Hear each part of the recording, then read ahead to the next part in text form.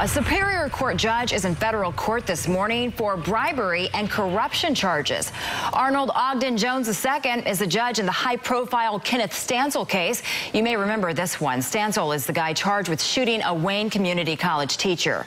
Now, according to a federal indictment, the judge paid an FBI officer to uncover text messages that Jones wanted for personal reasons.